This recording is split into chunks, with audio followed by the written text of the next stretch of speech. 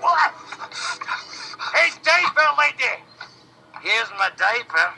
I think I might have pinched one off too soon. Oh, I, I left a rosebud in there for you.